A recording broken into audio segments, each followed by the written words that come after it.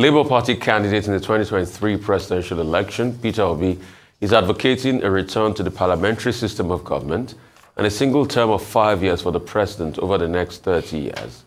Reacting to the Supreme Court judgment that affirmed Bola Tinubu winner of the February 25th presidential election, Obi accused the Supreme Court of breaching Nigeria's constitution and eroding citizens' trust in the judiciary. Arise correspondent Chinasa Samuel reports. More than a week after Nigeria's highest court, the Supreme Court, upheld the earlier ruling of the Presidential Elections Petition Tribunal, affirming Bola Tinubu as the winner of the 2023 presidential election. Labour Party's Peter Obi, alongside his running mate, Datti Baba Ahmed, and other party stalwarts are formally addressing the media on the matter. Please another round of applause for His Excellency. Displeased by the ruling, Obi accuses the apex court of ignoring evidence and abandoning its responsibility as a court of law and policy. He says the court willfully condoned breaches to the Nigerian constitution. Even the electoral body INEC is not spared, as Obi says INEC displayed incompetence in the conduct of the election. This judgment amounts to a breach of confidence of Nigerians have in our judiciary. INEC displayed incompetence in the conduct of its statutory duties. The judiciary has largely acted in defiance of the constitutional tenets, precedents, and established ground rules. Just like his counterpart in the opposition People's Democratic Party, Obi is now advocating for restructuring of Nigeria's governance and political system. He says a reform of the constitution for a five-year tenure on a rotational basis will allow more interaction between citizens and their leaders. If we cannot go back to issue of parliamentary democracy, we must have a quasi system that will allow our leaders elected, whether prime minister or president, to be able to be part of the legislature especially to answer questions. Despite the verdict, Obi assures his supporters that the quest for a new Nigeria has not ended.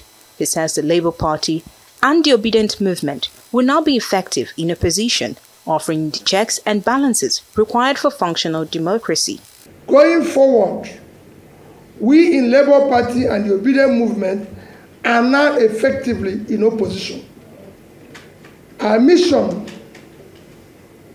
has been more about anchoring a new Nigeria, and it remains unchanged. On the controversial presidential yacht and the SUVs for lawmakers, the LP flag bearer says his administration would have done different. He accuses the Tinubu administration of being uncaring and insensitive to the plight of Nigerians. If we were in office, nobody would have contemplated such. And that's where we want to go from. With the Supreme Court judgment putting an end to the legal battle on the outcome of the 2023 presidential election, Nigerians look forward to the next general elections. The spotlight will now be on how the National Assembly reacts to the constitutional changes being recommended. Chinaza Samuel, Arise News. Meanwhile, in a reaction, the special advisor to the president on information and strategy, Bayo Onanuga, says Obi who was a beneficiary of the Supreme Court judgment in the past, contradicted himself by criticizing the same court because his judgment did not go his way. He accused Obi of making false allegations of rigging and other electoral malpractice which he could not provide evidence for to back up at both court of first instance and the apex court. Onanuga welcomes uh, Obi and his party to play the role of opposition and start preparing for another shot at the presidency in 2027. In another reaction, National Publicity Secretary of the All Progressive Congress, Felix Morka, accused Peter Obi of having an arrogant sense of entitlement. He said Obi is confused by the mass hysteria of his uh, vociferous netizens and fringe supporters. Dr. Abati? Okay, Happy let me. birthday once again. Yes, thank you. Let me start with the uh, reactions. There have been uh, reactions from the uh, presidency and also the party. Felix Morka has accused Mr. Peter Obi of living in what he calls alternative reality, what he calls a space of uh, political uh, delusion. And uh, Mr. Bayo Onanuga the special advisor to the president on information, has uh, said that uh, Mr. Peter Obi is involved in a copycat reaction. And he used some other adjectives that I think maybe should not be repeated in uh, decent company. Okay, I think the reaction is a bit overboard. Both uh, Mr. Onanuga and uh, Mr. Felix Morka, knowing that, look, there is uh, an end to litigation. And after the Supreme Court, the apex court of the land, you, can only appeal to God. Uh, I thought their reaction was not necessary. You cannot, uh, how do they say it in uh, traditional parlance? You can't beat a child and expect him not to cry. If uh, Mr. Obi, uh, you know, as is the case, has lost at the apex court, he has every right uh, to make a comment. What is important is to listen to what he's saying. And, um, you know, I think he's addressing Nigerians generally, not necessarily uh, President Tinubu, whom he did not call out. Uh, so I think that in this particular case, uh, silence would have been better in terms of response. Before now, we had uh, former Vice President Atiku Abubakar who responded. Okay, nobody made an issue out of that. He responded that passed. Mr. Peter Obi now, two weeks after the fact, has now made his own uh, press statement to put a closure to it, or to use his phrase, to announce a new beginning uh, for his own political career. I don't think he has committed any offense. That's number one. The second point, what are the issues raised by Mr. Peter Obi? Mr. Peter Obi flagellated the Supreme Court. He was uh, saying that the Supreme Court uh, contradicted itself, uh, derailed the course of uh, justice, uh, voted for technicalities instead of substantive law, and that uh, all of these will breach the confidence of Nigerians in the judiciary and that, uh, you know, the Supreme Court uh, disregarded public opinion. I don't want to comment further on that. I've made the point repeatedly on this uh, program. There's a book by Professor Friedman, which I've quoted in an essay in uh, uh, this day newspaper, back page, I think uh, last week, you know, talking about public opinion and Supreme Court and all of that. But people just must know that the law is the law, okay? I don't want to go further there. But Mr. Peter Obi and the obedient movement, whom he specifically acknowledged, and this is a response to the Supreme Court, you know, uh, I've always said, oh, public opinion should determine what happens in the courts. If public opinion determines what happens in the courts, then of course, why do we have uh, justices or judges or magistrates? Now, okay, and Mr. Peter Obi, like uh, Waziri Adamawa Atiku Abubakar, also referred to the valedictory uh, speech given by the outgoing, now outgone Justice uh, Mohamed Dattijo, uh, who criticized his own colleagues and drew attention to omissions within the judiciary. All that is fine. I don't see a problem with it. You know, what is more important is that Mr. Peter Obi has also said that he and the members of the uh, Labour Party and the obedient movement are going to go onto a new beginning, which will be to play their role as the opposition. That is our expectation. That is what we want. More importantly, he made a recommendation that you know, presidents of Nigeria should have a single five-year term. Now, uh, Vi uh, former Vice President Atiku Abubakar had recommended six-year term. The principle behind it being, look, let this thing go round. After six years, let it go to another region. We have six geopolitical zones. But uh, Mr. Peter will be responding to that particular point, said, look, let it be five years. So that within a cycle of uh, 30 years, you will have had a president of Nigeria from different parts of the country to generate a sense of inclusion, togetherness, unity, in line with perhaps the federal character principle under Section 14 sub 2 of the uh, 1999 Constitution. Now, my comment on this is that it is interesting that this subject is coming up.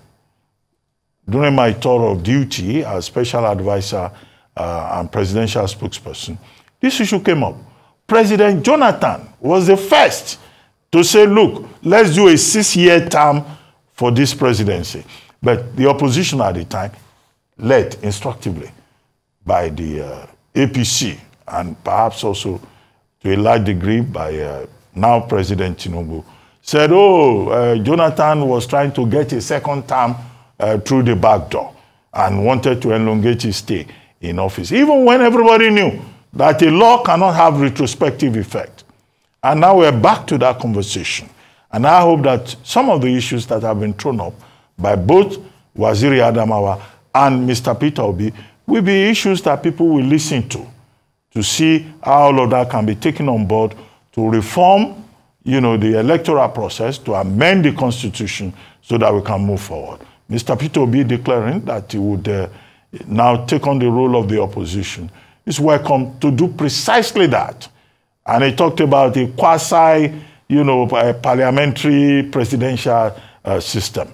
Well, that's another issue that he brought up. I would have expected uh, both Mr. Onanuga and uh, Felix Morka to respond to some of those issues that he and Atiku threw up and use that as a basis for public debate rather than all this name calling, uh, calling him copycat, calling him. No, you can't beat a child and expect him not to cry.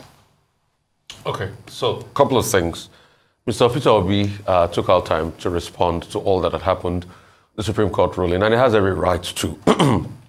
and he talked about the need for public opinion. And I must have to reiterate public opinion does matter in society because it's an agglomeration of public opinion that forms what makes society law and its own morality. If public opinion doesn't matter, all right, when there was a bill pushed for homosexuality in this country, public opinion refused it because that's not our society. Even the electoral law we have today is an offshoot of public opinion. Public opinion is so important that the grundnorm, our constitution, says we the people. Why didn't it say we the drafters? So that's the power of public opinion. And Peter Obi enunciated that yesterday. Talked about the fact that he will be in opposition. What opposition should do is create solutions. So what I expect from the Labour Party now is every sector of the national economy, anything that happens, give a robust response. Take, for instance, the Naira situation. What would the Labour Party have done? So I want to see more articles as regards this. And that's what brings me to the issue of why I'm going to call Mr. Peter Obi out this morning, and I'm going to disagree with him. Mr. Peter Obi, you are disagreeing with the president as regards the yacht, which I condemn, the five billion. But how about your own Labour Party lawmakers? Why can't they reject that 160 million for the cars? Because if Labour Party was touted as something new as different, you need to be able to stay with the people. And the people, public opinion, is against that 160 million. So if you're going to tell your Labour Party lawmakers or your Labour Party senators to reject it, it's the best you do it now. Also, it's time for us now to go back to the National Assembly. And these are some of the things lawmakers must push. Let's fine tune the electoral law properly. We need to be able to know are those guidelines laws? Can we codify them? Can we make all of those amends to the things that blighted the last elections once and for all? Can those reforms, as been stated in the Uwais panel, start to take effect? Can we actually push to a certain extent now that the president will not be the one to nominate the next INEC chief? Before you know it, anytime soon, president might choose to nominate a new INEC person. But the president should not be nominating the INEC chief because of bias. That's what the Uwais report said over 15 years ago. And that's why when Mr. Jega was saying it, I said, Professor Jega was saying, I said, it's been said before, it's in the Uwais report. And he alluded to that fact. Can we also rejig INEC? Can we make INEC more accountable? Can we fix our electoral system with the next four years? Those are the kind of things opposition should do and make a lot of noise about. The APC reacting, yes, they'll react, they take a shot at uh, Peter Obi and all of that, but that does not remove from all the matters been, that have been put on ground by Peter Obi, which he made very pertinent points for. And I must repeat, talking about the presidential rotation, in the first place, why should the presidency even be this powerful? We had regionalism that worked for us back in the days. We had the Midwest region, southern region, I mean, the, the western region, and all of that. And these people grew, and these regions, beg your pardon, grew at their own pace at that time. And that's what we've been talking about when we were talking about restructuring. This same APC, led by El, El had a committee set up for restructuring. What's the result of that committee?